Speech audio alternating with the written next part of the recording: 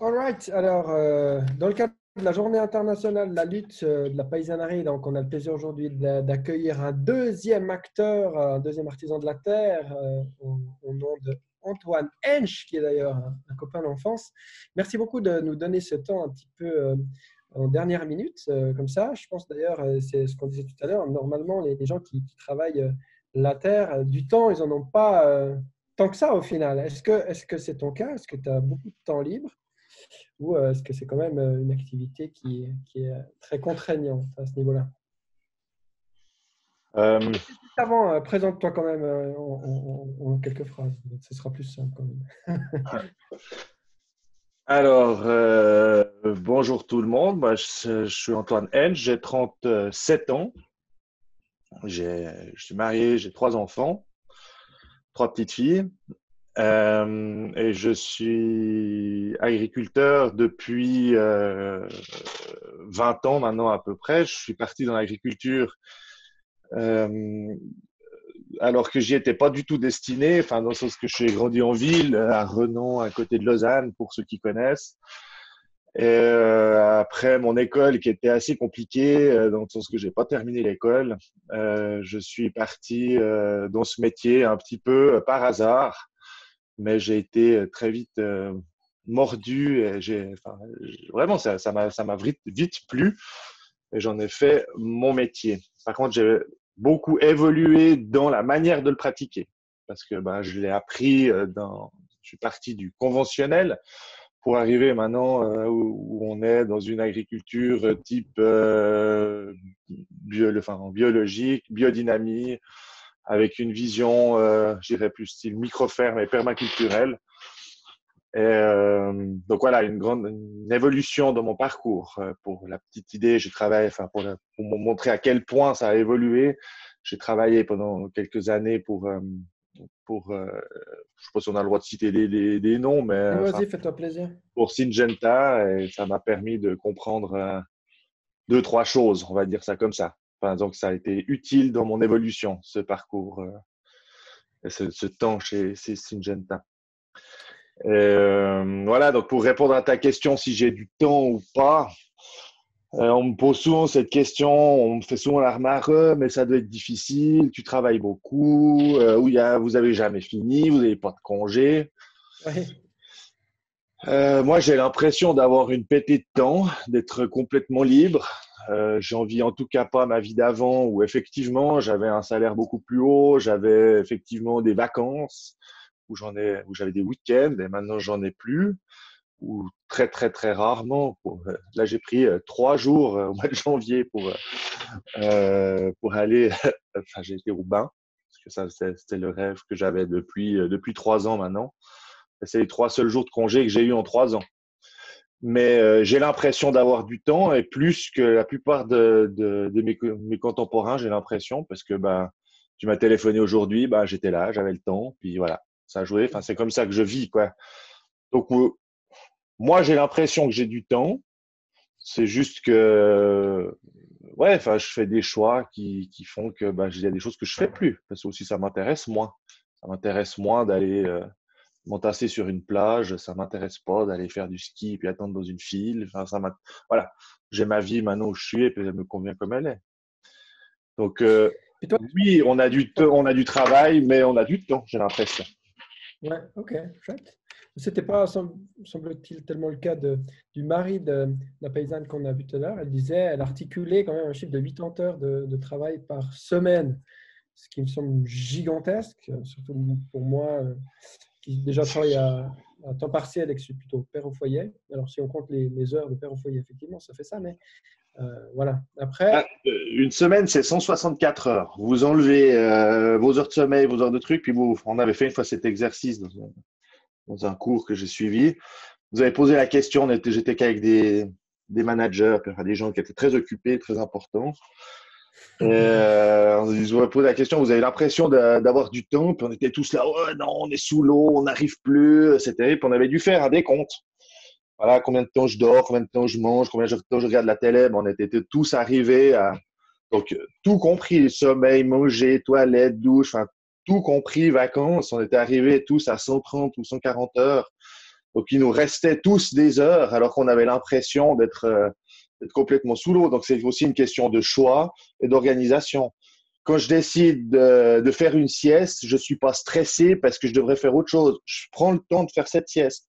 Mhm. Si je prends le temps euh, d'une heure avec toi maintenant, ben, je le prends. Puis là, je dois aller semer, je dois aller faire. Enfin voilà, j'ai travaillé aujourd'hui, euh, j'ai travaillé hier, oui, mais euh, c'est mon choix. C'est donc de dire oui, je travaille beaucoup. Moi, ça m'énerve un petit peu. C'est un peu la mode chez les agriculteurs dire ouais, on est sous l'eau, on est sous l'eau, mais pendant l'hiver, on les voit quand même bien se promener. Bref, j'ai pas, j'ai pas la même lecture. Et puis, en général, quand on dit ah, j'ai pas le temps, c'est aussi une manière de se donner de l'importance. Euh, pour moi, j'ai le temps pour ce qui me plaît. Voilà donc c'est réellement un choix hein, que, tu as fait. Euh, tu dis tout à l'heure, tu as passé donc, du conventionnel euh, au non conventionnel. Peut-être parle-nous un petit peu de ton expérience de, conventionnel euh, ici ou là, hein, aussi c'est chez Saint-Gentin, et pourquoi tu as décidé de, de, quitter ça? Alors, déjà, il faut bien comprendre, ça va aussi expliquer peut-être, enfin, voir faire euh, ressortir une position des agriculteurs qui sont maintenant majoritaires en conventionnel et qui sont pas du tout prêts à passer en mode bio ou euh, enfin ou plus loin biodynamie ou, ou style permaculturel? Parce que ce qui est, quand même les produits de traitement c'est juste extraordinaire. Ça marche hyper bien. Pour désherber par exemple. Pour désherber euh, contre les maladies c'est vraiment très très efficace d'un point de vue d'un agriculteur, désherber un hectare de blé en mode conventionnel, le temps de crocher le tracteur, crocher la pompe à traiter, euh, enfin voilà, admettons, c'est à peu près une heure, euh, peut-être deux heures hectare, si on n'est pas très rapide. Si je dois le faire à la main, c'est hors de grandeur plusieurs dizaines, voire une, ou deux centaines d'heures. Donc l'efficacité des produits de traitement est incroyable. Donc, faire le pas de se dire maintenant, je veux revenir en arrière. revenir. c'est comme ça que ça a été formulé tout à l'heure. C'est l'impression qu'il y aurait un retour en arrière et du coup, une euh, résistance par rapport à ça. Ce qui est voilà, ce qui est compréhensible par rapport euh, à la masse de travail que ça générerait. Alors maintenant, avec euh, l'agriculture bio qui n'utilise pas d'herbicides, il y a des techniques de désherbage en, mécanique avec des passages de machines, des RC-tri, des RC-toiles. Enfin, il existe des techniques, mais euh, elles sont extrêmement coûteuses en matériel et en pétrole. Et ça, mmh. bah, du coup, ça, ça pose un autre problème. Enfin, moi, je fais partie des gens qui considèrent qu'un des gros problèmes qu'on a maintenant, c'est la consommation de, de, de, enfin, la production de de CO2. pour mhm. moi, c'est quand même un, gros problème qu'on a maintenant à l'échelle mondiale. Mais la réponse que l'agriculture, je dirais, de grande échelle euh, bio, c'est une consommation assez importante de pétrole. Syngenta, quand vous voulez, toutes ces entreprises qui fournissent des produits de traitement, permettent, avec l'aide de ces produits, de en tout cas pour à l'échelle du paysan, après, il y aurait toute l'énergie grise de la production de ces produits, hein, qui consomme énormément d'énergie aussi. Mais pour l'agriculteur, si on regarde à son échelle, c'est très efficace, peu coûteux en, carburant euh, peu coûteux en temps et peu coûteux en argent finalement. L'ordre de grandeur, c'est à peu près entre 60 et 100 francs hectares pour désherber un blé, par exemple. Mmh donc, qu'est-ce que m'a apporté Syngenta? Euh, Ça m'a déjà donné une bonne vision de, enfin, ouais, de voir l'efficacité de ces produits, de voir euh, aussi à quel point on en était dépendant, parce que la main-d'œuvre est extrêmement chère, parce que le temps, euh, ben, c'est vrai qu'on préfère, la plupart des gens, c'est pas forcément mon cas, mais préfèrent ne pas travailler, le travail étant considéré par beaucoup comme quelque chose de négatif. On pourra peut-être en revenir un petit peu plus loin euh, sur mmh comment, je, vois ça. Euh, et euh, du coup, ça permet d'être très efficace pour la culture des, des, champs et pouvoir dégager du temps pour faire autre chose. Donc c'est pour ça qu'on est devenu, euh, enfin depuis maintenant une 70 à 80 ans, l'agriculture mondiale industrielle, parce qu'il reste quand même énormément d'agriculture qui, qui, la plus grande partie des agriculteurs sur la planète travaillent en bio. Il hein. faut, comprendre ça. Comme. Voilà. Par contre, la plus grosse quantité de produits agricoles produits en tonnes est issue de l'agriculture conventionnelle. Mmh les grands propriétaires. Les grands propriétaires qui produisent en, à l'hectare et à, l'unité de travail, euh, l'agriculture chimique est beaucoup plus efficace. Mmh mais euh, voilà, moi, en travaillant chez Syngenta, j'ai pu comprendre ça. Et puis, c'est vrai que j'ai eu quand même un, certain. Ça m'a. C'est là qu'il va parler d'un déclic. Alors, il y en a eu plusieurs, mais ça a été probablement l'un d'eux. Quand j'ai pu visiter la, la, la fabrique à Montaigne, là, ils, avaient, ils ont qui est là-bas, qui est la fabrique de produits. Donc, c'est vraiment un gros site de production qui exporte partout dans le monde. Et là-bas, on a l'impression de rentrer sur une centrale nucléaire. Enfin, genre, c'est incroyable. Les gars, ils sont en scaphandre. Il y a des odeurs incroyables. Enfin, on sent que c'est pas bon. Quoi. Puis de se dire que faire, de mettre ça sur notre nourriture, là, je me suis dit, hum, ça doit pas être très bien. Donc, ça a été un des trucs qui m'a fait me dire que non. Moi, moi, j'aimerais plus aller dans ce sens-là. Euh, mais ce que j'aimerais aussi dire, c'est que c'est compliqué pour les agriculteurs de faire ce pas-là. De se dire, euh, mhm. parce que c'est tellement pratique. Compliqué à quel niveau? C'est au niveau financier, au niveau euh, du temps, au niveau de la connaissance, à tous les niveaux? C'est quoi qui, qui, bloquerait le plus, à ton avis? Qu'est-ce qui... C'est aussi parce que je pense qu'on peut, ouais. comme, comme, quelque chose qu'on peut utiliser peut-être pour, convaincre les autres, mais pour peut-être assurer ou pour, pour, expliquer plus clairement ce que, ce, ce que ça, ce que ça a pour conséquence ben, Déjà, ben, c'est quand même une sécurité. Euh, par exemple, maintenant, c'est la période du colza. Bon, il est en fleurs, donc j'espère qu'il ne traite plus, mais euh, il y a des ravageurs dans le colza. S'il n'y a pas ces herbicides, enfin ces insecticides en l'occurrence, euh, il y a le risque de voir une grosse perte de rendement est, très, très grand. Donc, le fait de pouvoir traiter, ça sécurise un rendement. Donc, il y a une incertitude. Tu dis que toi, maintenant, tu es encore plus dans l'incertitude? Ben, c'est pour ça que oui, mais en même temps, on discutera de notre modèle de ferme qu'on a. Euh, on a tellement changé notre modèle de ferme que le risque, il est, c'est l'histoire de ne pas mettre les œufs, dans, les œufs dans le même panier. C'est ce qu'on a fait ici. D'accord, on en parlait un petit peu tout à l'heure. Donc, euh, cet aspect de résilience, de voilà, c'est un modèle qui, qui, est très diversifié pour que s'il y a quelque chose qui tombe, ben, il y a tout le reste qui. Euh, et voilà. Et puis du fait que d'avoir une diversité, on réduit le risque parce que justement c'est diversifié, donc euh, l'écosystème est plus résilient, donc il y a moins d'attaques massives. Alors, toi, par exemple, tu fais quoi? Tu, fais, tu produis quoi? Euh, Alors, euh, on a des légumes, on a des arbres fruitiers, on a euh, ben, des bovins, donc de l'herbe. On a un petit peu d'épeautre, un hectare et demi d'épeautre. On a, qu'est-ce qu'on fait encore On fait du tofu, mais ça, c'est avec un voisin qui nous donne du soja, qui nous, on achète son soja. Sinon, ben, on a des poules, on a des cochons, on a des moutons, euh, on a des cultures d'or, enfin, en fait, l'ortie, enfin, des plantes, des plantes médicinales. Et puis euh, voilà, avec, ben, on a des fruits, des légumes, la viande et puis des céréales. Ça fait un peu le, le, tout, quoi. Mmh. C'est des céréales anciennes, enfin, c'est des céréales qui, sont, qui ont été peu sélectionnées, donc l'épeautre, donc, euh, c'est très résistant, on traite pas, puis ça marche très bien. Mhm. Par contre, les rendements sont, sont moins grands, c'est clair. Puis du coup, un modèle comme ça, on passe, euh, c'est quelque chose de progressif. Genre, tu commences par euh, un des éléments, puis tu ajoutes tous les, les autres, ou tu dois dès le début créer cette complexité, cette diversité?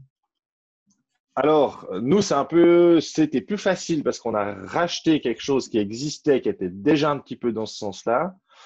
Mais euh, moi, ce que je fais chaque année ici, c'est que je rajoute des trucs. C'est-à-dire que l'année passée, on a rajouté les abeilles. Cette année, euh, on, a, bah, on a vraiment développé les légumes. Euh, maintenant, moi, je réfléchis aux champignons. J'aimerais bien cultiver. On a un coin de forêt. J'aimerais bien faire euh, une, une, forêt nourricière, enfin cultiver. Mais bon, c'est interdit. Mais c'est des trucs, voilà, c'est typique l'État, comment elle pourrait intervenir. La forêt, on n'a pas le droit d'y toucher, mais en même temps, c'est quand même un espace où on pourrait faire pousser des arbres, des murs ou des trucs comme ça, tout en étant dans le, pas faire des lignes, pas de l'industrie, mais que choisir certaines plantes qui s'intègrent très bien dans un écosystème forestier qui permettrait de nous nourrir. Forêt, forêt comestible. Genre, voilà, ce genre de truc. Ouais, ouais. C'est ce genre de Ouais. Et ça, ça euh, au niveau de la loi, tu n'aurais pas le droit Non, exclu. Terroriste. En Suisse, la forêt, c'est un truc, euh, on ne touche pas. Il y, a, il y, a, un tiers de, de, sol couvert par la forêt en Suisse, je crois. Et puis dès que, ça augmente. ça augmente en plus. C'est une bonne chose, mais je crois qu'elle est peu exploitée. Hein. Dis-moi si je me trompe, mais on, on l'exploite.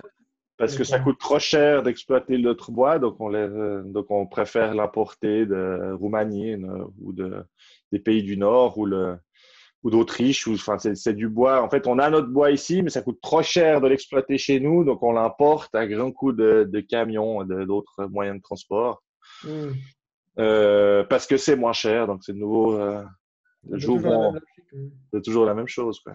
Mais le jour où on commencera à comptabiliser le vrai coût des choses, aussi bien le coût social, humain, environnemental, là tout d'un coup ça redevient intéressant, ça reviendra intéressant, de, de, de, travailler nos propres terres et nos propres mmh ressources, quoi. Mais ce coup-là, il, va, selon toi, il va, il va revenir tôt ou tard? Parce qu'effectivement, là, on s'absout de ce coup-là, on fait comme s'il n'existait pas. On disait tout à l'heure 6% du budget euh, euh, d'un panier moyen, ce qui n'est pas forcément très intéressant ni représentatif comme, comme chiffre, hein, parce qu'il y a des gens qui gagnent beaucoup moins que d'autres. Mais tout ça pour dire surtout comparativement qu'à l'époque, nos parents, nos grands-parents dépensaient beaucoup plus pour avoir une nourriture de qualité euh, et saine dans leur assiette. Maintenant, c'est à ton avis parce qu'on s'absout finalement du vrai coût que ça coûte si bon marché? Bah, oui, c'est exactement ça. Moi, je me représente, enfin, je, donne de temps en temps cet exemple euh, à mes clients. Euh, si je prends l'exemple d'une salade, pour faire pousser une salade, on peut pas. Euh, il y a besoin d'eau, il y a besoin d'éléments minéraux, il y a besoin d'une graine, il y a besoin de terre. Enfin bref, il faut ce qu'il faut pour faire pousser une salade. Qu'est-ce qui explique que dans un, si on fait un truc en bio, euh, ici, hors, euh, enfin, de, dans, plein champ, euh, sans herbicide, désherbé à la main, euh, avec des engrais issus de, de, nos animaux, ben on arrive à un coût autour de 2 francs ou 2 francs 50. Puis les gens nous disent Ah, mais c'est cher. Je fais Ouais, mais je sais pas si tu te rends compte que quand tu achètes ta salade à 90 ou 1 franc, chez, un grand distributeur, tu vas, tu vas payer qu'un franc, mais euh, le coût total, il est payé par quelqu'un. Là, ce qu'on, nous, ce qu'on te propose en te donnant 2 francs 50, c'est qu'on te responsabilise, que tu payes l'entier de tout. Il est produit ici par des gens qui ont travaillé ici, qui vivent ici et tout. Quand on achète un produit qui coûte pas assez cher, il y a quelqu'un d'autre forcément qui a payé le coût. Parce que une salade égale une salade. enfin, après, on peut discuter des teneurs en matière nutritive, mais ce que je veux dire. C'est qui qui appelle les coûts ah, C'est les transports, c'est l'environnement, et puis c'est l'humain. C'est-à-dire que les personnes qui ont récolté la salade dans les Pouilles en Italie, elles sont pas payées à, 28 francs de l'heure. Bon, nous non plus. Mais euh, euh, le, transport qui a été organisé depuis le sud de l'Italie ou le sud de l'Espagne pour amener la salade ici, ça personne le paye, c'est quelques centimes, alors qu'on sait très bien que maintenant ce coût-là a un impact important sur notre mode de vie aujourd'hui déjà, et puis encore plus dans le futur probablement. Donc en fait, on, c'est ce que tu dis, on, on, on ne paye pas l'entier de l'objet qu'on achète. On paye que mmh. la valeur monétaire.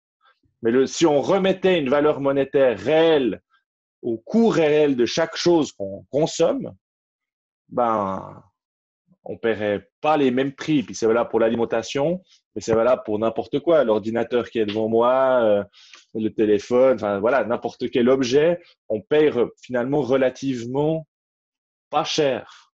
Mhm. Il y a l'argument après quand même euh, que certains vont avancer, l'argument, ok, mais c'est un luxe. Euh, genre, j'ai un salaire de 3500 francs par mois.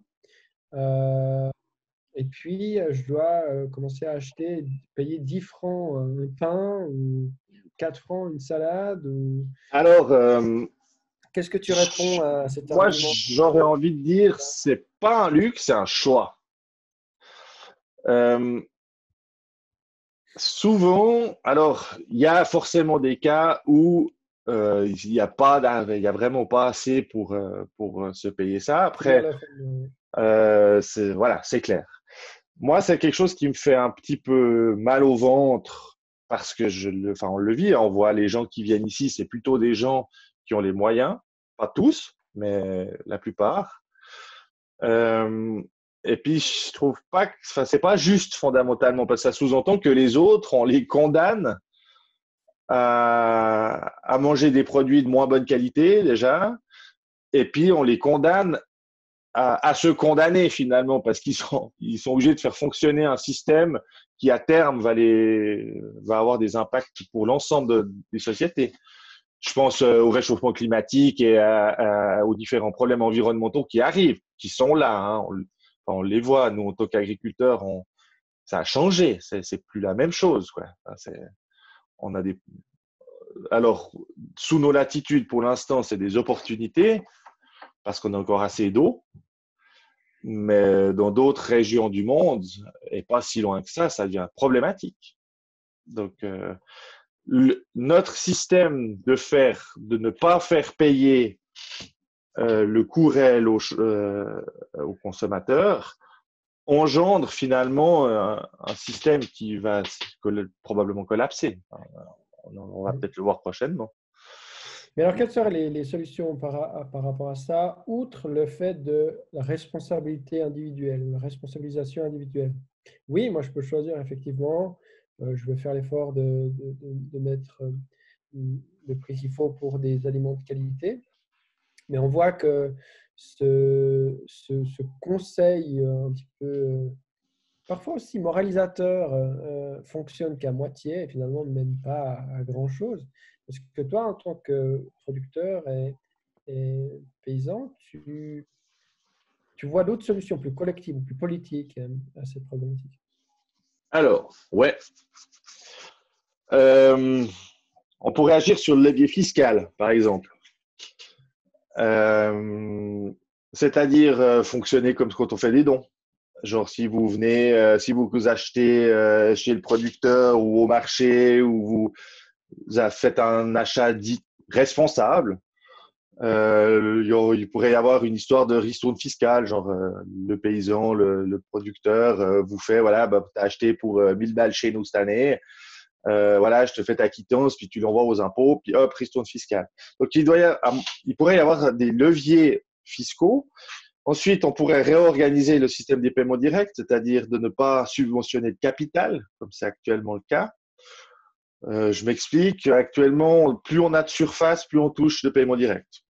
Un peu de choses près, c'est ça. On a compris ça avec euh, la paysanne précédente. Elle recevait à peu près 80 000 euh, francs par, année.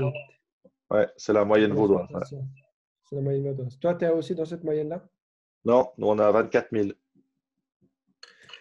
Ah, alors, comment t'expliques ça? C'est parce que tu as un domaine plus petit, probablement, qu'elle? Ouais, puis que je chasse pour les primes, parce que c'est ce qui, a, à mon avis, c'est ce qui agenouille l'agriculture, c'est ce qui fait qu'on doit se la coincer tout le temps parce qu'en fait, euh, on critique l'État, mais en même temps, c'est sans l'État, l'agriculture ne vit pas, ne vit plus. Mhm. Euh, pardon? C'est paiement direct. Ouais. Bah, par exemple, euh, enfin voilà, une, une, une, exploitation agricole standard euh, dans le canton, on est autour de à contrôler par Captain Fact, mais euh, c'est autour de 29 29 30 hectares, je crois, quelque chose comme ça. Et euh, bah voilà, 2500 balles hectare, euh, on est, ou 2000 francs hectare à peu près, on est autour de, de 60 à 80 000 francs. Et puis, le chiffre d'affaires de ces entreprises euh, sont autour de 200 à 250 000 francs. bref, on est à peu près à la moitié, voire au tiers du chiffre d'affaires. Donc, si dans n'importe quelle entreprise, on retire le tiers d'apport de, liquidité, elle fait faillite. Direct. Mhm. Donc, c'est pas du tout résilient. Et puis, dès que l'État met un stop, c'est fini. C'est fini. Et puis surtout, bah, l'État peut dire vous faites ça. Hmm. Mais est-ce qu'ils le font? Ouais, bah oui, ils nous font faire des trucs débiles. Mais euh, c'est abusé. Genre, on nous donne. vas-y, vas-y, parce que alors, nous, euh, urbains, on a évidemment. On nous donne de l'argent pour mettre des petits.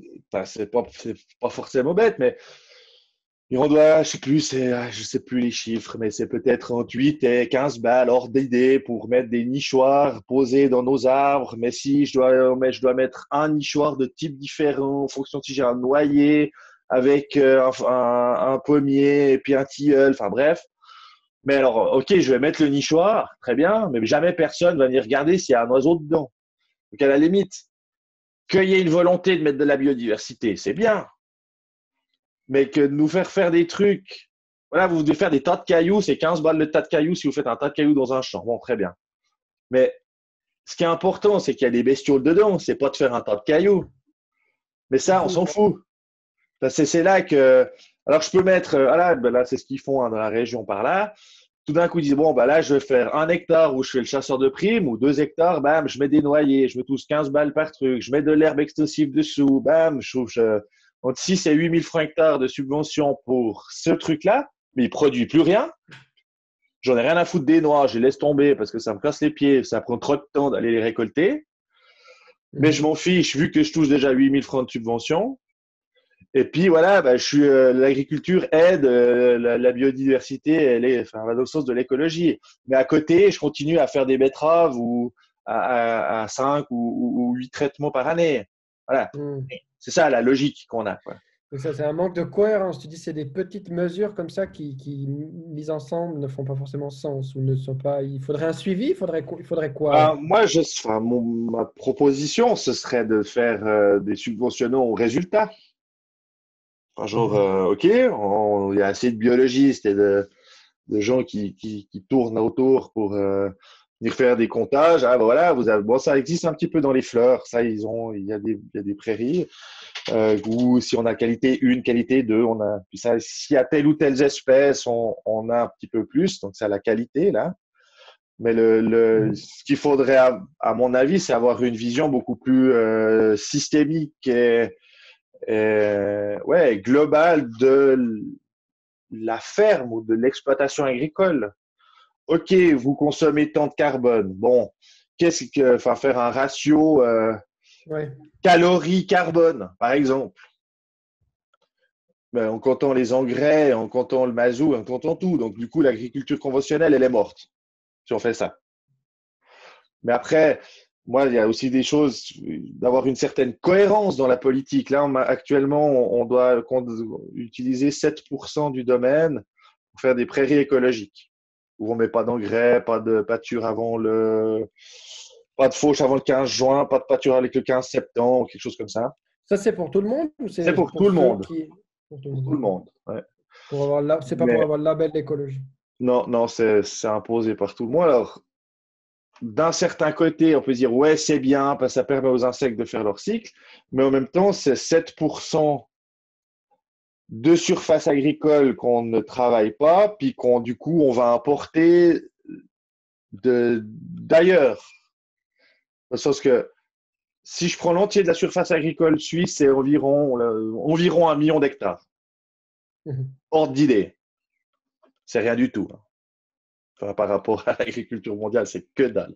Mais par rapport à la, consommation, combien on aurait besoin d'hectares pour, euh, pour une consommation euh, locale. Il y avait eu cette, euh, cette initiative de la souveraineté alimentaire. Je sais pas si ouais, alors là, j'ai une grande. Ça, je, alors on dit qu'on est à peu près à 50% d'auto-approvisionnement. Euh, je crois que c'est dans l'ordre d'idée, c'est à peu près ça. Après, ça dépend. On est un peu plus pour les produits, pour le porc, pour le lait, mais hors d'idée, 50%.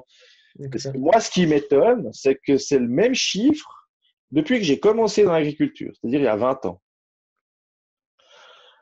Puis, ce que je peux, ce que, que moi je constate sur le terrain, c'est que, un, les surfaces agricoles n'ont pas augmenté. Au contraire, elles ont diminué, urbanisation, augmentation de la surface de forêt. Donc la surface agricole en 20 ans, depuis que je suis, que je fais ce métier, elle a diminué. Je ne peux pas dire de combien, mais elle est moins grande. Les rendements n'ont pas augmenté. Ça, c'est clair aussi. Moi, je, je regardais mes cahiers d'apprentissage, c'est les mêmes rendements qu'aujourd'hui. Hors de grandeur, hein. on est peut-être à 1 ou 2% d'augmentation. bref, c'est que dalle. Euh, il y a de plus en plus de prairies écologiques et d'extensifs. Donc, euh, les agriculteurs, vu qu'ils touchent des subventions pour extensifier leur domaine, euh, moins d'input et moins d'output. C'est-à-dire que je fais mmh. moins, je produis moins sur la même surface. C'est ça. Donc, avec un impact écologique direct moins grand. Il faut quand même le reconnaître. Mmh. Direct. Parce que si on regarde le tout, se poser la question. Et euh, donc voilà, moins de surface, pas d'augmentation de rendement, euh, une extensification globale de l'ensemble de l'agriculture et facteur aussi intéressant, quand j'étais à l'école euh, à 15 ans, quand j'ai quitté l'école, on était aux alentours de 6,5 millions. Peut-être 6,8. Mhm. Maintenant, sauf erreur, on est 8 millions 300 000 ou 8 millions 500 000. Donc, augmentation de la population. Et le chiffre d'auto-approvisionnement est toujours resté le même. Alors, il faut m'expliquer comment c'est possible. Moi, j'y crois pas. Ça, c'est mon avis personnel. C'est expliqué peut-être parce qu'on a augmenté la production hors sol, notamment euh, avec la production de volailles. Euh, il, y a énormément de, de poulailler hors sol. Ça, c'est ce qu'on appelle la production hors sol. C'est j'ai un poulailler, oui, les poules sont chez moi, mais la nourriture ne vient pas de chez moi. Donc, du coup, elle est importée de je sais pas trop d'où. Alors, euh, mais dans, le, dans la comptabilité, le poulet, c'est du poulet suisse, même s'il a bouffé du soja argentin. Mhm. Tu vois ce que je veux dire? Mhm. Donc voilà, ça c'est un questionnement. J'ai jamais été plus loin que ça euh, dans la recherche de quelle provenance de quoi. Mais ce que moi je peux dire, c'est qu'avec la production biologique, on produit en règle générale un peu moins à l'hectare, de l'ordre de 20%, 20 à 25% de moins. La solution, elle doit être trouvée dans de l'amélioration des techniques, parce qu'en améliorant nos techniques, on peut augmenter notre rendement, mais elle doit surtout être, et c'est là qu'on peut gagner beaucoup, c'est dans la commercialisation et l'explication aux consommateurs que, par exemple, la gale de la pomme de terre n'est absolument pas un problème pour manger la pomme de terre. Par contre, si moi, je vais livrer à une grande firme euh, de, la, de la pomme de terre galeuse, elle est déclassée, elle passe pour le bétail. Alors mmh. qu'elle est tout à fait bonne à manger. Nous, ici, tout ce qu'on produit, euh, les pommes de terre tordues, euh, les pommes de terre avec de la gale dessus, donc c'est une maladie de la peau, hein, pour ceux qui. Euh, tout est vendu ici et le retour qu'on a, c'est que nos patates, elles sont très bonnes. D'ailleurs, on n'en a pas assez. Mais donc, donc voilà. Le, c'est pas juste un effort de l'agriculture. L'agriculture doit faire un effort, mais c'est tout le système qu'il faut changer. Mmh c'est moins de déchets, arriver à expliquer aux consommateurs que euh, bah voilà une pomme euh, avec de la tavelure bah c'est pas grave euh, que les déchets comment on peut les mettre en valeur via de, des, des, des, conserves via des jus via je sais pas quoi, quoi. Des, des, produits un petit peu moins bons enfin un petit peu moins jolis ou un peu abîmés il y a moyen de les transformer. Et c'est là qu'on arrivera à augmenter le taux d'auto-approvisionnement. Après, euh, d'arriver à 100% d'autoprovisionnement en Suisse, euh, ça me semble compliqué parce qu'on est, dans, une société, dans une société, on est la quintessence de ça, euh, qui est issue de, l'industrialisation et de, la tertiarisation des sociétés, c'est-à-dire qu'on est une société, on est beaucoup trop nombreux par rapport à la surface qu'on a. clair, quoi. Genre 8 millions, enfin on est 150 ou 180 au, euh, Gugus au, kilomètre carré, c'est beaucoup. Ça, c'est uniquement permis grâce à bah, Jean Covici, me l'explique très très bien. Euh, la densification des villes, en l'occurrence, mais chez nous, ben, on peut voir ça comme quasiment la densification des pays, est permis uniquement parce que on a une quantité d'énergie disponible énorme via le pétrole. Mmh. Mmh. Donc, euh, actuellement, je pense que le défi de l'agriculture, c'est de passer au bio, d'améliorer les techniques pour maintenir nos rendements au maximum, mais aussi d'avoir un énorme travail avec le consommateur pour lui expliquer comment manger finalement.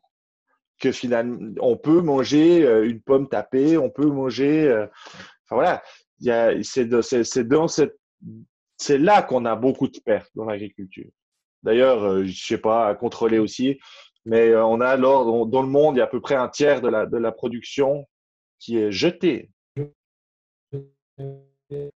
Oh, là, il y a un bug. Un tiers ou la. Tu m'entends plus? C'est revenu. un tiers ou la moitié de ce tiers qui est gaspillé, il semblerait être fait aussi par les ménages. Donc, c'est effectivement un problème multi. Euh, qu'il faut traiter euh, de tous les côtés. Une effectivement du consommateur, mais tout à l'heure aussi, on sentait que euh, Vanessa Renfer, qui était la, paysanne d'avant. Donc, il faudrait, à mon avis, aussi un, accompagnement euh, pour ceux qui, un, un accompagnement plus, précis, plus rassurant pour euh, les paysans qui peut-être, euh, je suis sûr qu'ils sont nombreux, essayer d'avoir un impact moindre sur, sur l'environnement, une, meilleure qualité de, évidemment de, produits. Je suis sûr que tout paysan souhaite avoir une meilleure qualité de produit, mais qu'il est freiné ou retenu par des considérations qui lui font peur ou euh, qui l'empêchent de faire ce pas que toi, tu, que tu as fait plutôt par conviction, notamment parce que tu t'es rendu compte que Saint-Genta et, leurs produits euh, étaient anti-humains euh, et destructeurs vraisemblablement. C'était ma lecture. Hein. Mais, mais oui, alors moi, je vois l'État comme l'ennemi, mais ça, c'est ma perception. Enfin, j'ai aussi travaillé pendant trois ou quatre ans. Euh, j'étais responsable du, domaine agricole de Grange-Vernet, où j'ai donné, c'est l'école cantonale d'agriculture vaudoise, où euh, j'ai pu côtoyer des gens euh, tout à fait intéressants, où c'est vraiment un nid de compétences. c'est ça aussi, c'est un des impacts qui m'a aussi fait passer enfin, changer de bord, c'est aussi euh, avec mon séjour à Grange-Vernet. Euh, mais j'ai aussi pu constater les limites de l'État. Et l'État, enfin, moi, c'est ce que je constate. Enfin, dans mes hobbies, j'aime bien l'histoire. Et je constate que les changements ne viennent jamais de l'ordre en place. Mmh c'est toujours des individus des, ou des groupements d'individus qui tout d'un coup prennent la tangente et puis petit à petit euh, font changer les systèmes. Mais le système se défend, ce qui veut pas changer lui. Mais euh, donc pour moi, l'État, que j'ai pu un peu côtoyer son, son fonctionnement, euh, enfin, moi, ma, politique ici aux ETRP, c'est vraiment de, moins j'ai d'État, mieux c'est. Parce qu'ils vont. anarchiste Est-ce qu'on peut dire que du coup, tu as un peu une ferme anarchiste? Donc, la, la, la, marché bio, les ETRP, c'est le nom de ta ferme. Est-ce que c'est une ferme anarchiste? Euh, Alors, euh, j'aime beaucoup le mouvement anarchiste. C'est beaucoup, c'est inspirant. Euh, mais je veux être dans le système. Le changer, je veux pas sortir du système. Je veux pas être un ermite. Euh, je veux donner envie, je veux que les, les, gens qui viennent là soient inspirés d'une manière ou d'une autre pour que eux euh, créent un changement plus tard dans leur vie, dans leur métier, que ce soit dans l'agriculture ou ailleurs. Mhm. L'anarchisme a quelque chose qui me plaît, c'est ce côté de, de la responsabilité individuelle, de la conscience de l'individu dans le collectif et du, de la, que le collectif tient compte de l'individu, c'est quelque chose qui, qui me plaît. Euh, Peut-être qu'il y a un certain, certain pendant anarchiste ici, mais euh, en général, les gens comprennent assez mal ce, ce, mot anarchisme. Donc, je fais attention avec mhm. ça. Oui, parce qu'il est assimilé au chaos, évidemment. Exactement. J'ai moi-même fait un lapsus il y a quelques podcasts en, arrière en disant euh, c'est anarchique, en, disant c'est bordélique, alors que en fait, Justement, donc euh, j'essaie de faire attention avec ce mot-là, parce qu'il est mhm. mal compris. Euh, mais oui, si, pour les personnes qui, qui, comprennent ce, ce, mot, il y, a, il y, a, un très bon document Arte qui, qui s'appelle Histoire de l'anarchisme, Mhm. qui, est vraiment qui explique beaucoup de choses à ce niveau-là. Ben oui, on peut se dire que je, je prône des valeurs anarchistes qui sont euh, la responsabilité, euh, la, la, conscience de, de l'ensemble et de l'impact que mon, mon, activité engendre euh, et que je, enfin, j'essaye d'avoir des, des, des, comportements et des décisions d'action qui sont le, le, le, le plus bénéfiques euh, ou le moins impactantes négativement pour euh, mon entourage, mmh, ma, société dans, laquelle je suis. Quoi. Je comprends qu'effectivement, c'est plus intelligent de, de, se baser sur des valeurs que sur une idéologie, aussi belle soit-elle, euh, que celle de l'anarchie, en tout cas théoriquement. Voilà, alors voilà. Mais euh, oui, moi, ce que j'aimerais, c'est que. Il y a d'ailleurs, comment il s'appelle, un fortier, là, Jean Martin, qui, qui, qui, donne cette phrase, cette maxime, qui est euh, ce que j'aimerais, c'est euh, quitter l'agriculture de masse, c'est d'avoir une masse d'agriculteurs. C'est ça qui m'inspire. Euh, moi, j'ai défini un périmètre de euh, surface financière que j'ai besoin pour faire tourner ma, ma, ma, ma combine ici, mais j'ai pas envie de plus ça, ça m'intéresse pas. Ben, on, parle, on fera peut-être un petit, petit truc, le, cette histoire d'épidémie qu'on vit actuellement. Ben, Nous, maintenant, on, c'est super. On a vraiment beaucoup de monde qui viennent nous trouver. Euh... C'est partagé. Alors, ben, effectivement, faisons, faisons cette, cette, parenthèse euh, là maintenant. Euh, le coronavirus, cette pandémie, ça change, ça change quelque chose par rapport euh, à, à ton activité, à ton quotidien? Ouais, un peu. On a une pété de monde. On a beaucoup de gens qui reviennent ici. Ouais, ouais. On a vraiment beaucoup de gens qui reviennent nous trouver, euh, qui sont intéressés, qui nous découvrent. Euh. Puis bon, bah, on a de la chance. Bah, c'est vrai que bah, chez nous, euh, les gens se baladent. Donc, c'est aussi l'occasion de faire une promenade tout en respectant les deux mètres de sécurité. Enfin, on a mis en place quand même tout un truc pour, pour être dans la loi. Mm-hmm. Donc voilà, merci. Enfin, si jamais M. Berset nous regarde. Mais, euh, mais non, non, euh, non, oui, on a beaucoup de gens ici. Les gens, tout d'un coup aussi, euh, prennent conscience de ce, comment, parce qu'on on parle on prend du temps aussi pour leur expliquer.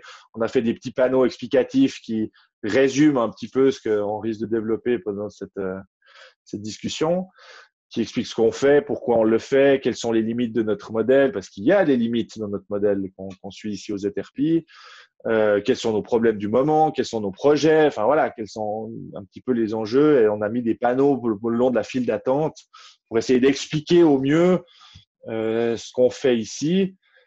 Euh, la, la, difficulté, c'est que des fois, les gens arrivent ici et se disent ah mais moi, ce que j'aimerais, c'est des légumes et ils comprennent pas ce qu'on, enfin, ils ont pas pris le temps de, de vraiment bien comprendre l'ensemble du projet ici aux Eterpi, que c'est pas mmh. juste un débit de, un début de légumes. Quoi.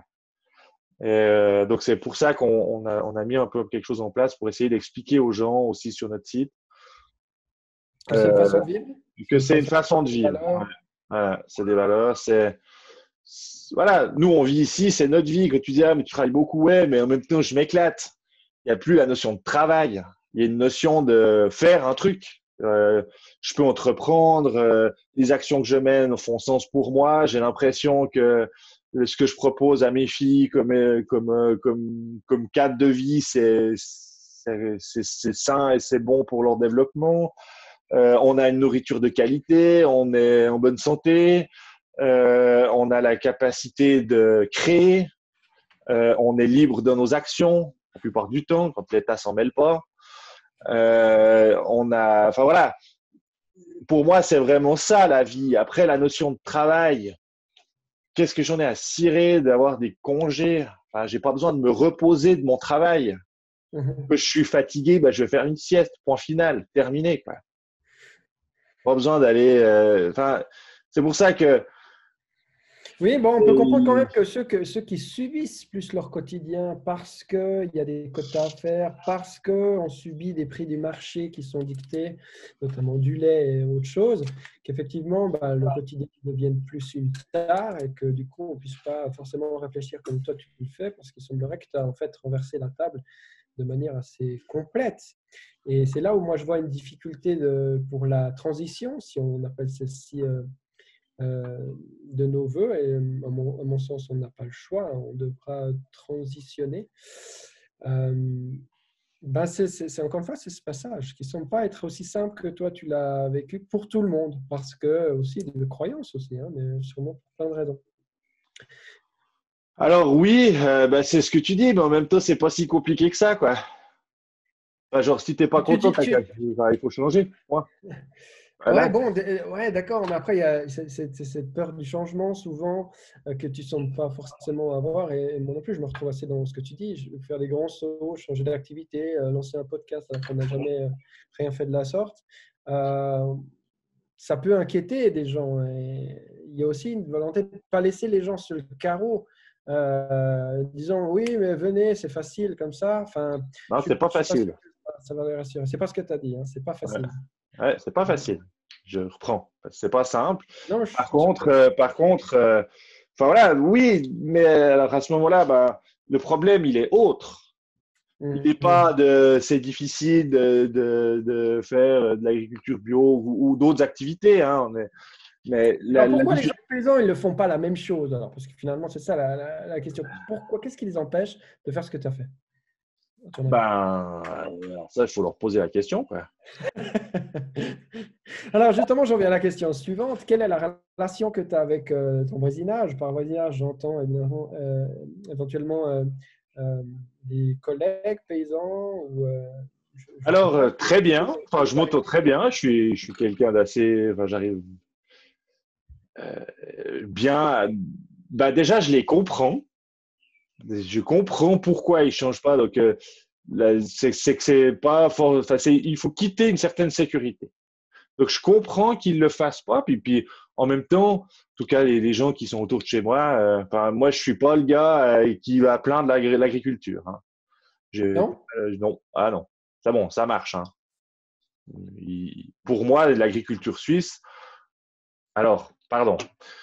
L'agriculture vaudoise que je, que je connais relativement bien, elle fonctionne très bien. C'est-à-dire, on peut, en vivre euh, simplement. Eh bien sûr, arrêtez. Correctement. Vous avez déjà été balader avec un agriculteur euh, dans son village? Alors déjà, il passe la moitié du temps à te dire qu'il n'a pas de thunes et qu'il travaille trop. Puis après, il dit, ah, bah, tu vois, ça, c'est la maison. Ouais, ça, je l'ai laissé à ma sœur. Euh, ah, puis ça, bah, c'est là, on va retaper pour la grémère. Euh. ouais, puis là, on a construit une écurie à million. Ah, non, mais ça va dur. Non, mais bon, c'est bon, quoi. Non, moi, ça, j'y crois pas. Ah, avant, tu disais que tu bien avec eux et que tu les comprenais. ah, mais je, je, ne sais pas si ça va continuer très longtemps. Mais voilà, enfin, moi, c'est ce que je pense. Mais après, euh, bah, ceux de côté d'ici, bah, ils font leurs affaires ils, ont leur, ils ont leur. Euh, enfin, j'ai aussi quand j'étais chez Syngenta, j'ai aussi pu voir un petit peu les cuisines. Bah, si une fois je peux avoir une cuisine comme ça, comme ce que j'ai pu voir chez la plupart de mes clients, il bah, faudra dire, enfin, faut croire que ça, ça, aura bien fonctionné pour nous d'un point de vue financier, quoi. Enfin, mmh. bon, pour l'instant, nous, c'est pas du tout le cas, mais c'est pas ce qu'on recherche non plus. Bref, mmh. euh, c'est, c'est, je ne plains pas l'agriculture de plaine vaudoise, celle que je connais. C'est pour ça que. En tout cas, en termes financiers. En termes financiers, ouais. il semblerait que tu t'éloignes de ça. Et puis finalement, euh, ta réussite, ce n'est pas la réussite euh, financière, c'est pas la, la, réussite que tu recherches, c'est plutôt celle du, temps libre, du choix, du plaisir, des, justes, etc., etc. Donc, vous n'avez peut-être pas le même indicateur. bah, c'est ça. Après, euh, si, on, si un agriculteur vient ici et qu'il vient regarder mon domaine, il se dit, bah, c'est peut-être ce que les collègues se disent. Il se dit, mais c'est qui, ce, c'est qui ce, ce petit bouffon, quoi? Genre, on a des tracteurs tout pourris, on a des machines de merde, on répare tout, euh, on fait ça à la main, on est tout le temps avec la brouette. Euh, enfin, voilà, c'est pénible physiquement, on, prend cher. Enfin, voilà, c'est.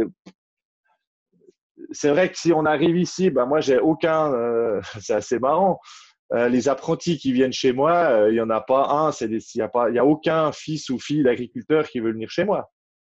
Parce que mhm. j'ai pas de tracteur, parce que j'ai pas une super belle ferme, parce que mes vaches, elles ont pas euh, 9000 kilos de lait par, euh, par lactation, parce que, voilà. Tout ce qu'on a ici, c'est tout de la récup. Notre appart, il est tout pourri. La maison, elle vient en bas. On vit dans des roulottes. Bref, d'un œil extérieur, ça peut paraître pas très glorieux. Mais nous, on s'éclate. Enfin, on fait plein de trucs. Euh, on, a, c'est ce qu'on se disait ce matin avec ma femme. Je disais, mais tout ce qu'on a appris depuis qu'on est arrivé là, on a appris à faire du pain, on a appris à faire du tofu, on a appris à faire de la choucroute, on a appris à, tondre des moutons, on a appris à, construire un atelier, on a appris, à, enfin, on a appris un million de trucs, à faire des abeilles. Euh, là, je me lose les champignons. Enfin bref, c'est trop cool. C'est trop cool. Mais euh, c'est vrai que si on fait le trait financier euh, au, tarif horaire, bah, euh, je ferais mieux d'aller donner des cours à Grange Vernet. Mmh, mmh. On parlait de main-d'œuvre aussi un petit peu plus tôt. Dans l'actualité, on voit que l'Italie et l'Allemagne, je crois, font appel massivement aux Polonais ou aux Ukrainiens, je ne sais plus lesquels, d'ouvriers vraisemblablement bon marché. c'est ça peut-être le malheur. Tu as des employés, toi? Alors, euh, on a beaucoup de gens qui travaillent pour nous, euh, mais on, a, on pratique une rémunération non monétaire. J'ai fait mon travail de master sur ça, donc c'est un petit peu particulier. Est-ce que tu peux partager un peu ça euh, Alors, actuellement. Du Ouais, on fait aussi. actuellement, je pense que j'ai une demande par jour de gars. Ouais, j'exagère. Allez, j'exagère. Deux ou trois demandes par semaine de personnes qui nous demandent pour venir nous aider. Gratuitement. Des, urbains? Des urbains. Des mecs qui se font chier. Euh... ça va pas durer. Ça va pas déjà avant, avant. Ah, ah, déjà Mais là, maintenant, c'est vraiment exacerbé. Mais euh, on a beaucoup de gens qui veulent venir nous aider. Alors, nous, on est hyper reconnaissants de ça. On a des gens aussi, puis alors on les paye en nourriture. En... Alors, la, structure de la main d'œuvre, il y a ma femme et moi, où là, ben, on est rémunéré grassement, euh, évidemment, parce qu'on est les chefs, les patrons. Et puis. Euh, grassement, ça veut dire quoi? Ça veut dire que vous générez combien par année? Euh, On a. Alors, cette année, ben, ce sera un petit peu différent. on a un chiffre d'affaires d'à peu près 420 000 francs. Mhm. On touche 25 000 francs de paiement direct, 24 000. Euh, ce sera un peu plus cette année parce que j'ai pu toucher un petit peu de terrain de, de, la commune, qui ont été très cool. Ils me l'ont mis très facilement à disposition. Euh, on a 420 000. On, a, on rembourse 70 000 francs par année parce que j'ai beaucoup de dettes. On a mhm. dû s'endetter comme des cochons. Mmh. Vraiment, petit aparté. Euh, si j'avais été le fils de, la personne qui nous a vendu. J'aurais acheté trois fois moins cher. Parce qu'il y a une petite loi en Suisse, qui est souvent passée, euh, on n'en parle pas trop. Mhm. Euh, les fermes sont remises au tiers de la valeur s'il y a un lien de filiation. Mhm. Une ferme qui vaudrait, qui vaut peut-être un million et demi, euh, si c'est le fils il la, ou la fille, il la, il la, rachète à 500 000 francs. Si il la vend à moi ou à un néo-rural, comme il y en a beaucoup maintenant, qui veulent rentrer dans ce milieu-là, mais qui ne peuvent pas. Parce que déjà, ils ne trouvent pas de terrain. Donc ça, quand on me dit que l'agriculture va mal, on devrait avoir du terrain plein partout à racheter. Il n'y en a jamais. La, la, dichotomie que moi j'imaginais, c'est que. Ah, c'est pour ça qu'on vous raconte la merde. Ils s'en vont, ils s'en vont, ils s'en vont. Il y a de moins en moins. Mais en même temps, euh, quand on cherche des, lieux et, des, des domaines, eh ben, on n'en trouve pas non plus. Mais il semblerait que ce soit aussi parce qu'il y a une petite guerre dès qu'il y a un terrain qui se libère, eh ben, il y a un paysan qui l'assimile ou qui le prend. Parce que, bah ouais, parce que vous touchez 2500. Bah exact. Donc on rémunère le capital. Ce que je du coup, ça, ça favorise réellement la, compétition et la discorde aussi. Parce que, ouais, et puis ça, ça favorise l'agriculture de masse. Mmh tout à fait. Donc c'est là, où, si on discutait de ce qu'il faudrait changer, on change ça. Par exemple, on donnerait le, subventionnement euh, au chiffre d'affaires à l'hectare. Mmh ou euh, au, à la quantité d'aliments produites par, euh, par kilo de mazout cramé ou par l'unité de main-d'œuvre. Mmh. Plus tu as de main-d'œuvre, plus tu reçois de subventions. Ça, ça, ça, revoit tout le modèle. Oui, c'est clair. Alors, tu disais tout à l'heure, euh, donc, euh, par rapport au compte, tu avais 420 000, francs, 420 000 francs, on a 70 000 francs de remboursement. Et puis, euh, on fait aussi, dans, sur notre, dans notre ferme pour l'instant, on fait aussi de l'achat-revente. Donc, on achète à des de la vente directe, tu dis Ouais, non, de l'achat. Enfin, on fait de la vente. Tout est en vente directe. J'achète chez des collègues agriculteurs ce que j'arrive pas à produire pour le vendre chez nous. Ah, ok. Mhm. Donc, on a aussi ce système-là. Parce que si j'avais que mes produits, j'arriverais pas à attirer suffisamment de monde chez nous. Ok, je comprends. Pour diversifier, ouais. exact. En fait, l'idée, c'est que les gars qui viennent chez nous, ils puissent faire leurs courses. Et du coup, c'est un peu triché. C'est une des limites de notre modèle. C'est qu'on est aussi un peu épicier. Mhm. Et ça, actuellement, ben, quand on a commencé, il y avait 17% du chiffre d'affaires qui venait de chez nous. En 2017, il y avait 17%. Et actuellement, en 2020, on va arriver un petit peu en dessous de 50%, je pense. Mmh. Ce qui est énorme. Ouais, sur 420 000 francs, euh, ça veut dire qu'il y a à peu près 200 000 balles qui viennent de chez nous, mmh. sur 10 hectares. Ça veut dire que le chiffre d'affaires hectare, si je fais abstraction de l'achat-revente, ben ça, ça c'est pas produit chez nous, eh ben, on est à peu près à 20 000 balles hectare. Mhm. Comparativement, l'agriculture standard, on est aux alentours de 3500 à 4000 francs hectare. Hmm. Ça, ça vient du fait qu'on vend, on a supprimé les, tous les intermédiaires et puis qu'on pratique des prix rémunérateurs et que nos clients sont d'accord de jouer ce jeu-là et qu'en échange, ben, on, leur garantit une qualité et puis avec l'entier justement de, de, la répartition du coût est payé par le client. Donc, euh, il, assume complètement son achat. Et ça, euh, c'est quand même un, un, un, truc où on est très reconnaissant de, de, des gens qui nous soutiennent. Quoi. Et, et, voilà. Du coup, le, le, notre salaire à nous, je considère que les 70 000 francs de remboursement, c'est un salaire parce que je m'enrichis. Je rembourse une dette. Donc, euh, je deviens plus riche. Et puis, euh, l'année passée, on, avait, on a eu euh, un bénéfice de autour de 25 000 balles. Mais c'est de la triche parce que tous les déchets, tous les trucs pourris du magasin, bah, c'est nous qui les mangeons. Donc, en fait, c'est on mange que des trucs pourris, mais on a le bon poil. non, mais, non, mais, ce que non, mais en fait, on mange qui n'est plus vendable. Ça, ce serait aussi un truc à redéfinir, les, les, les data, quoi. Complètement con. Oui, ça, ça, fait trois ans qu'on mange que des trucs data, quoi. Bah, ça va. périmé, quoi. Ouais. Parce que ben, on n'a plus le droit de les vendre, mais nous, on a le droit de les manger parce qu'apparemment, on est moins dommage. Quoi. Mais ça se passe, ça se passe très bien, donc euh, ça va bien. Donc voilà, euh, donc on, on, prend sur le magasin, puis ça c'est c'est difficile parce que dans une épicerie, ce serait une perte, mais chez nous, c'est une mise en valeur par la famille. Puis quand c'est vraiment trop dégueu, on les met au cochon. Du coup, ça nourrit les cochons. Puis si c'est vraiment trop, trop, trop, trop dégueu, on le met au compost. Mhm. Puis du coup, c'est valorisé aussi. Donc c'est aussi ça, on joue sur le déchet. Donc là, pour, pour le coup, c'est circulaire. Pas de déchets, c'est ça la clé. Mhm. Tu avais parlé de biodynamie et de perma... tu as utilisé un système permaculturel, ben, je crois un peu plus tôt. Ouais. Euh, est-ce que tu peux expliquer un petit peu ce que ça implique euh, dans ton, dans ton quotidien de faire de la biodynamie ou et de la permaculture?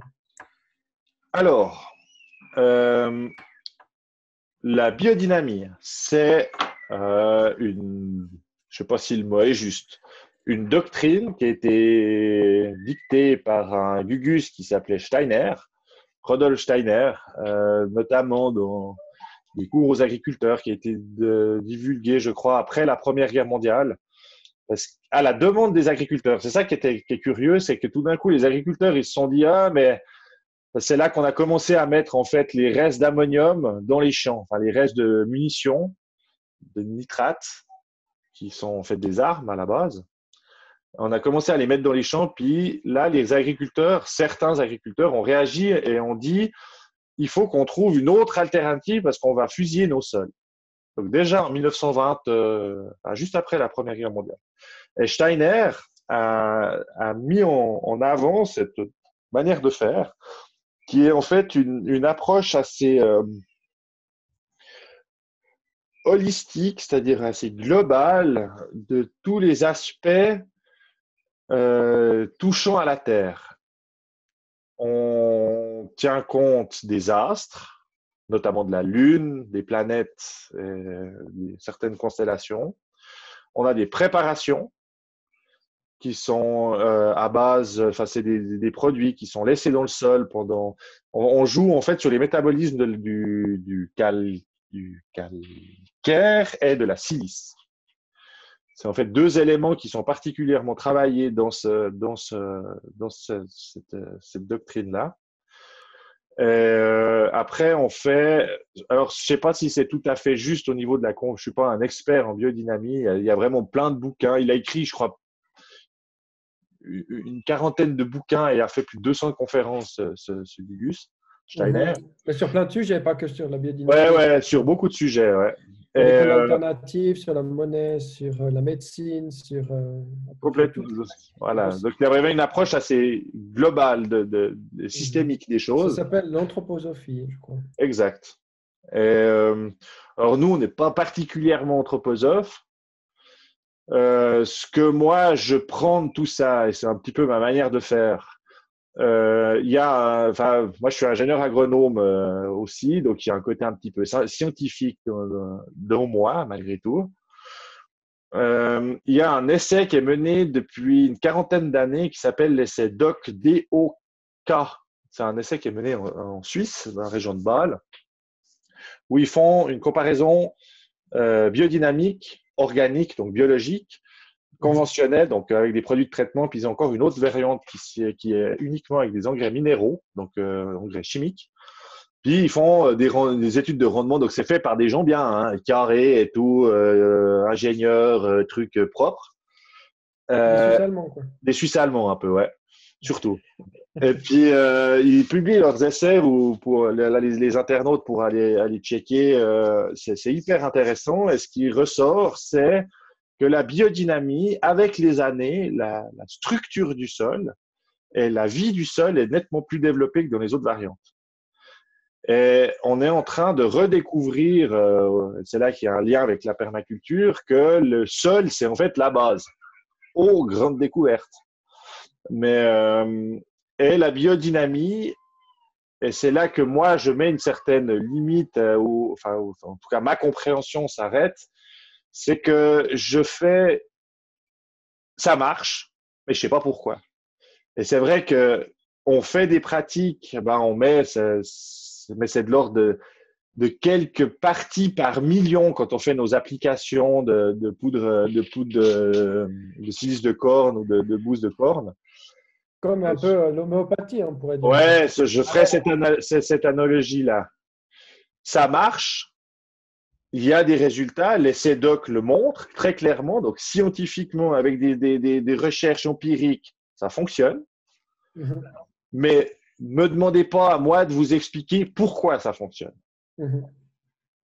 Donc toi, tu fais des expérimentations et puis en, ben, professionnel, tu observes si ça s'améliore ou pas. exact. Et puis, ben, j'ai choisi de parce que ben, en quittant les, les engrais, ben, chez nous, on n'utilise pas de cuivre, pas de soufre. Donc, même les produits euh, utilisés en bio, on y renonce. J'ai fait une exception l'année passée pour mes pommes de terre où j'ai utilisé une, euh, un produit qui, euh, en fait, j'ai inoculé une bactérie pour lutter contre le dorifort, sinon on n'avait plus de pommes de terre. Mhm. Une bactérie qui s'attaque à la larve de, du dorifort. Euh, c'est un, bah, si j'ai plus le nom, c'est un nom latin, euh, je me souviens plus. Euh, mhm. Et, donc, même on n'utilise pas de produits, même du cuir et du soufre. On utilise par contre passablement de purin, des purins d'ortie, purins de prêle, purins de sureau, pour justement aider au maximum les, plantes à, à s'autogérer. Quoi. Et la biodynamie, moi je la prends comme ça, c'est un outil supplémentaire qui fonctionne dans une certaine limite et qui aide l'ensemble de mon système à fonctionner le mieux possible. Donc, je vais chercher un petit peu tous, mais il y a même certaines choses que j'ai pu observer quand je faisais des visites chez Syngenta. Ah, tiens, telle plante pousse à tel endroit. Ah, tiens, c'est intéressant. Ben, c'est encore des choses que j'utilise aujourd'hui. Dans le sens que je vais chercher dans des connaissances scientifiques, dans mes expériences pratiques, dans la biodynamie, dans la permaculture, pour essayer d'avoir un maximum de choses qui me permettent de rendre euh, mon système agricole le plus euh, performant possible, finalement. Quoi. C'est la même logique et la même idée que, que tout le monde, rendre performant quand même. Complètement. Et ça, c'est aussi quelque chose que, que je revendique. Euh, je suis agriculteur, je suis paysan. Euh, mon rôle dans une société, c'est de produire de la bouffe. Mhm. Ça. Et puis, de pas tout défoncer. Ça, c'est aussi mon deuxième rôle, quoi. C'est important. Parce que si je fais que de produire de la bouffe, mais dans, un siècle, il n'y a plus rien qui pousse sur mes terres, j'aurais loupé. Donc, euh, je suis pas, euh, je suis pas contemplatif voilà, ouh, c'est bien. Si vous venez chez moi maintenant, c'est magnifique. Hein, les cerisiers sont en fleurs, c'est vraiment un petit paradis. Parce moi, au mois de novembre, c'est un petit peu moins fun. Mais là, maintenant, c'est vraiment, vraiment joli. Euh, mais mon but, c'est de produire. Mais de produire de manière à ce que ce soit le plus durable possible. Et c'est là que l'agriculture biologique, la permaculture, la biodynamie, et tout ce qui peut me tomber sous la main euh, et qui reste dans mes codes de valeur et mon code éthique, c'est très bien, je prends. Essaye. J'essaye. Je suis.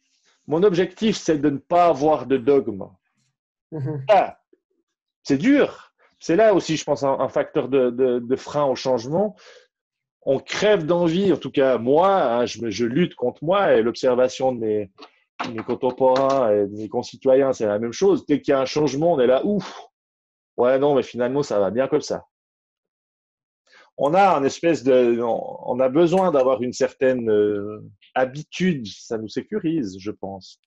Donc, à mon avis, euh, d'aller, euh, de demander des gens de quitter un système qui fonctionne tant bien que mal, c'est compliqué parce qu'on doit changer pour quelque chose qu'on n'a jamais expérimenté. Je pense que ça, c'est un gros facteur de frein. Et du coup, l'inconnu d'une certaine manière aussi. Exactement. Mm. Mais en même temps, quand on quitte ça, bah là, ça devient un monstre cool. Parce qu'on peut de nouveau découvrir. enfin, enfin, moi, je trouve que je ne reviendrai pas en arrière. Même si j'ai moins de pognon. Ouais. T'es convaincu. Ok, le sens que prend l'agriculture en Suisse, tu penses quand même qu'avec toutes ces réflexions, et puis c'est quand même un trend, mais j'ai l'impression que ça reste quand même une minorité, hein, des gens qui, qui pensent et font comme toi, on entend quand même de moins en moins le discours inverse de quelqu'un qui, de manière euh, complètement conscientisée, dirait non, moi j'en ai rien à foutre, etc. Euh, est-ce que as ça, je peux vous faire l'argumentaire. Hein, je l'ai eu pendant quatre ans. Il faut nourrir la planète. Euh, on a, bah, quand j'étais chez Syngenta, on avait tout un argumentaire. Oui, oui, oui. Mais c'est des, des, des, justificatifs quand même, euh, je, pense que la, guerre des idées, elle est gentiment gagnée. Et maintenant, il y a toujours toutes sortes de mensonges qui sont rajoutés derrière pour faire du greenwashing et puis pour dire non, non, mais en faisant ça, c'est pas si mal. Euh, Saint-Genta, c'est tout à fait euh, écologique, c'est tout à fait des valeurs familiales. et puis, on y va de la publicité mensongère, etc. Ah, il faut faire attention. Enfin, fais, quand même gaffe de ne pas te faire allumer parce ouais, il faut faire attention avec ce qu'on dit avec ces, gens-là. Mais euh, euh, ce que je veux dire, c'est que il y a, il faut, le changement, il doit venir de l'intérieur. Euh, moi, je ne crois pas que les politiques vont changer, mais j'ai un espoir, un peu, que la société civile se bouge un peu actuellement. Avant l'effondrement ou après l'effondrement? Euh, Après, avant, non. Ça t'empêche pas de garder le sourire, apparemment. Non, parce que ben, nous, euh, ben, je peux pas dire, il y a quand même une démarche. Alors, je, attention à ça, parce que c'est, je suis pas encore un bunker dans un bunker avec, c'est la question que j'allais poser, avec euh, mon note. ça va s'effondrer, là, tu as beaucoup plus de clients, mais à mon avis, il y aura tellement de clients qu'il va falloir installer le bunker. C'est survivaliste euh... tu vas faire ou tu vas faire comment? Alors, euh, non, je veux pas être survivaliste. J'y pense et je me, j'essaie déjà d'avoir une, démarche de me dire, bon, ben, comment je pourrais faire pour euh, accueillir le plus sans que ça s'effondre chez moi? Mais il mm. faudra forcément partager à un moment. Il n'y a pas de, pas de miracle. Enfin, je ne sais pas comment ça va arriver, cette histoire-là.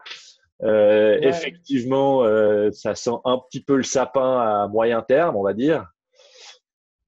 Euh, moi, c'est aussi pour ça que j'ai voulu. bah, j'ai fait péter mon deuxième pilier, j'ai fait péter mon troisième pilier. Je crois absolument pas à l'ABS j'espère que euh, on va pouvoir, enfin, je, la, la, notion même de retraite, quelque chose, c'est quelque chose pour moi qui n'a pas de sens. Mm-hmm. euh, mais euh, tu crées un lieu de vie ici et maintenant, et c'est ça ta retraite. Puis voilà, j'espère que je vais pouvoir continuer à fonctionner ici avec les forces que j'ai, avec l'âge que j'ai, tout au long de ma vie. Euh, sont, enfin forcément que j'aurai moins d'impact et moins de force à, à, 80 ans ou à 70 ou à 60 ans que je l'ai à 35 ans. Hein, c'est normal, mhm. la vie est faite ainsi, quoi. mais je pense qu'on peut aménager les choses pour être plus qu'un appui euh, plus tard et plus être forcément la force vive comme on l'est maintenant, quoi. C'est logique, ça me paraît euh, tout à fait viable à long terme. Mhm. Mais euh, si on a fait ça, c'est aussi pour mettre en sécurité dans l'immédiat mes proches. C'est clairement, il y, a, quelque chose comme ça derrière. D'avoir de la terre, pour moi, c'est quand même la sécurité ultime. Ouais. Mhm. Comment tu te renseignes, comment tu acquiers toutes ces connaissances que tu sembles avoir? Quels sont tes, tes, tes points de... C'était interview. Nos concurrents, mais pas du tout. Je plaisante, je plaisante. Euh, on s'est inspiré beaucoup de, de euh, pour faire ce podcast, euh, notamment aussi. Plus, Alors, j'ai des mentors. Enfin, j'ai des gars que, enfin, j'aime beaucoup Jean Covici. J'ai regardé tous ces trucs. Pour moi, l'énergie est vraiment mhm. la clé de, c'est vraiment une, grosse une question qui, qui m'interroge. Je ne te cacherai pas que j'ai déjà fait une demande pour euh, qu'ils viennent sur. Euh, ah, si je, si je peux dire, je suis assez... euh, Ça pourrait être assez puissant, euh, mais il faut être un peu modeste pour l'instant. voilà, peut-être qu'on a encore pas mal de travail à faire et des choses à prouver avant d'avoir des, des, gros calibres comme. Mais... Voilà, donc ça, c'est des gens qui m'inspirent. Euh, Aurélien Barrault, euh, ces, ces, ces, types-là. Mm-hmm. euh, Pablo Servine aussi. Euh, je, il a une, ouais, il est plus, je trouve qu'il est très doux. Puis moi, c'est vrai que j'aime beaucoup cette douceur. Euh, je m'identifie plus à quelqu'un d'un peu plus tranchant comme Jean Covici. Enfin, Pour moi, l'action est importante.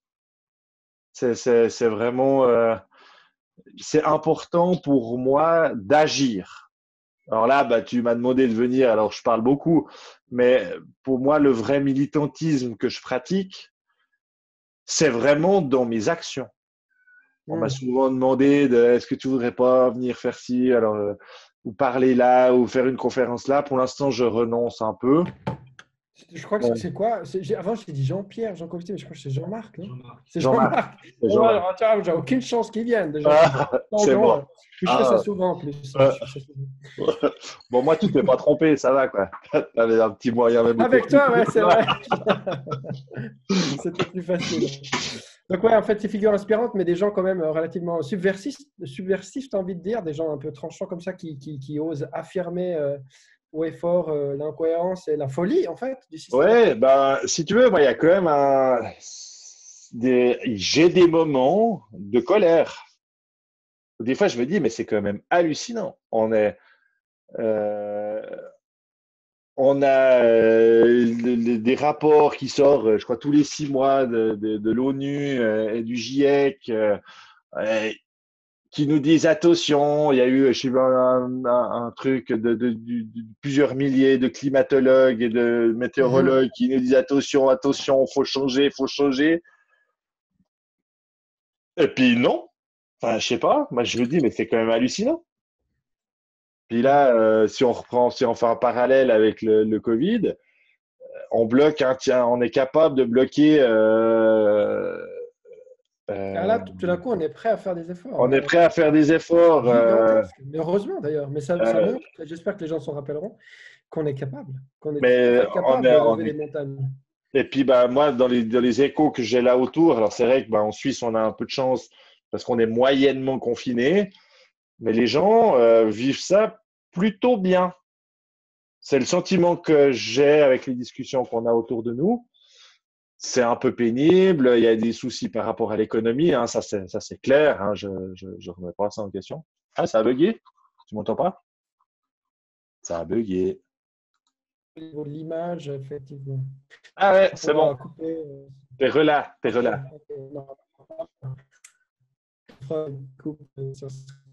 Oh, ça, ça, va revenir. Je vais mettre en, plus petit, des fois ça marche mieux. Ouais.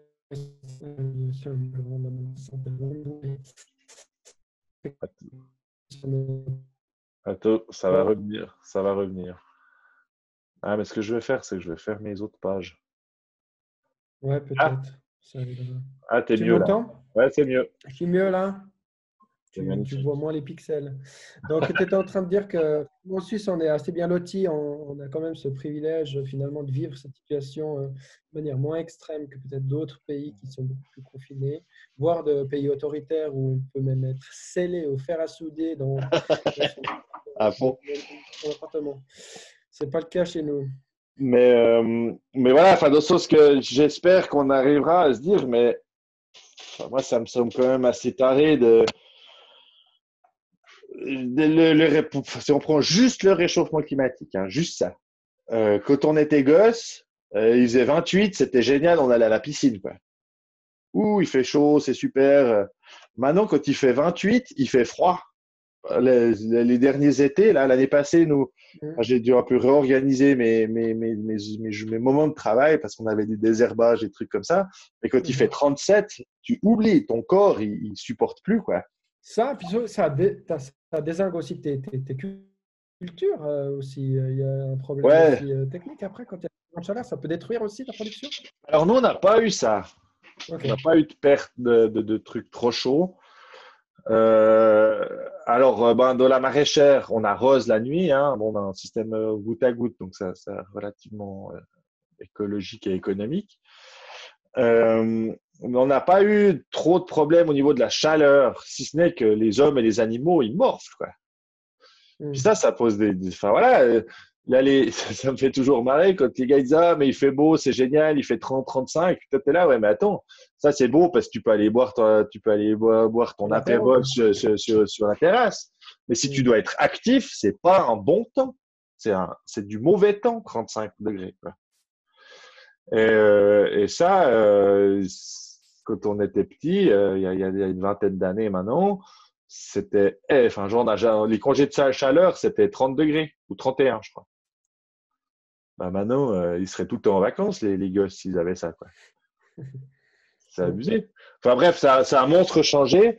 Et puis, euh, donc en fait, si on regarde le, le rapport mi-dose, ça, il ne tient pas compte des, des, des, changements de température, mais on voit qu'on est dans les courbes, au-dessus, enfin, on est pile dedans. Donc, on est pile dans le mur, mmh puis on continue mmh à coin. Et moi, c'est un truc, euh, ça, ça me... j'hallucine. Donc, c'est pour ça que des fois, d'avoir un peu un discours euh, un discours euh, consensuel, oui, il faudrait, ce serait bien que les politiques, gentiment, puis que la société civile commence à réfléchir. Non, c'est pas ça. C'est, des fois, moi, j'aimerais bien avoir un. Alors, j'ai des fois un discours qui est un petit peu, maintenant, non, faut dire stop. Genre, euh, genre Covid, quoi. Vous arrêtez de consommer comme des cons, euh, vous arrêtez de. Voilà, mettre, même s'il faut parler de protectionnisme, ben voilà, quoi. Mettons du protectionnisme, tant pis, quoi. Des quotas de voyage, mettons des trucs. L'impact, il va faire tellement mal. Puis, on n'a plus le choix de la radicalité ou, pas. Ouais, c'est plus une question de, de, de, oui, est-ce que ce serait bien si? Il y a hmm. tous les, les, les, scientifiques les plus compétents en la matière. Alors après, on peut se dire, ouais, mais c'est du bullshit. C'est tout des, c'est manipulé, euh, c'est juste pour j'en sais rien quoi. Mais nous, concrètement, à notre échelle, on se rend compte qu'il y a quand même un problème. Quand, on, euh, j'étais petit, puis qu'on a descendu dans le sud de la France, on avait des, moustiques et des trucs plein, le, plein les radiateurs des bagnoles. Maintenant, on peut descendre euh, avec la visière ouverte quasiment quand on est, quand on est en moteur, on n'a plus un moustique. Enfin, il y a quand même un problème. Il y a un changement. Et puis, nous, on est dans une situation encore relativement protégée en Suisse. Mais quand on discute avec les agriculteurs euh, de France ou d'ailleurs, eux, ils ont, ils ont vraiment, ça, devient problématique. Sans, parler des, des, grands pays comme la Chine ou l'Inde, où là, il y a vraiment des, des, des dégâts terribles. catastrophique. Mhm. Bref, on euh, le, le, ici. Ah, alors, l'autre. Non, mais il, est bien, lui. on, est Très, on, est Très, ambitieux. Ambitieux, ben oui, c'est ça. Mais euh, enfin bref, tout ça pour dire que j'aime, je pense qu'il faut maintenant avoir un discours euh, plus net et tranché afin d'engendrer une action. Parce que concrètement, concrètement, les actions, que puis hein. On a toujours eu une augmentation du consommation, de consommation de l'énergie fossile. Alors, pas en 2020 à cause de, de, de ce Covid, euh, on a toujours une consommation par, euh, par habitant d'énergie qui augmente. On a toujours euh, plus de kilomètres parcourus par habitant qui augmente. Enfin voilà, on consomme toujours plus de viande, plus, de, plus de tout par habitant, c'est toujours plus. Mmh Alors, moi, je pense qu'il faudrait, pour une question de, de survie d'un maximum d'humains, euh, il faudrait commencer à avoir un discours un petit peu plus euh, tranché quoi, et, et contraignant. On aurait besoin d'un dictateur euh, en Suisse? Non, là, je, rigole. Hein. je pense que c'est par la, démocratie, mais la démocratie réelle et participative qu'on pourra effectivement trouver des solutions que nos politiciens sont incapables, peut-être pas d'imaginer, mais en tout cas d'appliquer très clairement. Euh, voilà, c'est pas possible. Aussi électoralement parlant, j'imagine hein, que des, mesures trop radicales ne seraient pas acceptées si elles venaient d'en haut. Donc la problématique est assez euh, complexe. On avait discuté, euh, c'est un podcast avec Dimitri qui était sur la démocratie, justement. Comment une société peut-elle et doit-elle prendre des décisions pour qu'elles soient juste acceptées, fortes et qu'elles aillent dans le bon sens? Travers le tirage au sort et d'autres euh, processus euh, très, très intéressants.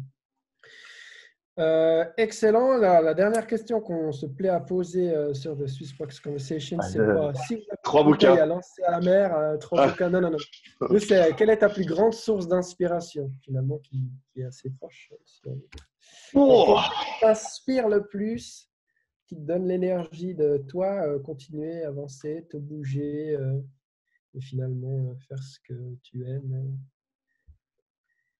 et vivre, vivre euh, Qu'est-ce qui m'inspire J'en sais rien. Pas grand chose, quoi. c'est, quoi? Non, enfin, c'est Pas de source d'inspiration. Tranquille, ça devient comme ça, spontané. Euh... J'aime le, j'aime avoir le sentiment de pouvoir modifier mon environnement et les choses autour de moi. Hmm. Euh, ça, c'est quelque chose que je trouve hyper cool. De, de partir d'une idée, c'est-à-dire, euh, bah, par exemple, là maintenant, il faut que j'aille euh, semer des, des trucs, euh, se dire, maintenant, j'ai rien, et puis, une fois que j'aurai mis en, mouvement mon, ma tête, mes mains, enfin, que j'aurai réuni euh, le terreau, euh, les petits paquets, les graines, les trucs, les machins, après, je vais avoir des semi-faits, des, plus tard des plantons, euh, et après des plantes et des fruits et des légumes. Cette capacité d'entreprendre, cette capacité de créer, de faire par juste mon, mon impulsion, je trouve ça trop cool.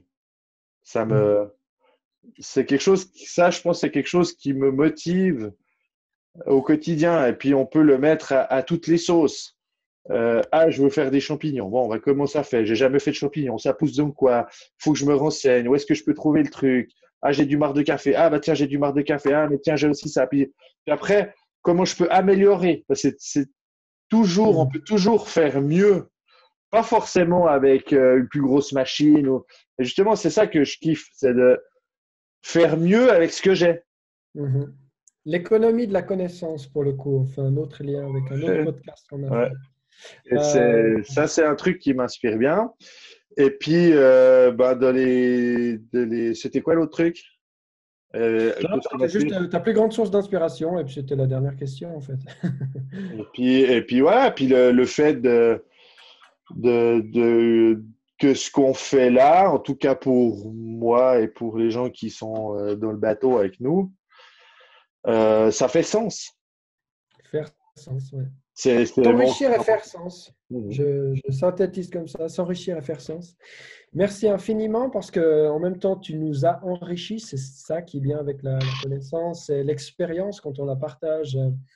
Et c'est pas comme l'argent, euh, elle se raréfie pas, elle se divise, elle, enfin, elle se multiplie, pardon. Merci beaucoup Antoine Hench euh, pour euh, avoir euh, joué le jeu si rapidement puisque je t'avais appelé à peu près cinq minutes avant qu'on fasse ce podcast.